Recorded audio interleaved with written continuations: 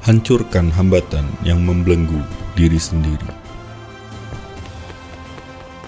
Jalani hidup penuh makna dan raihlah prestasi.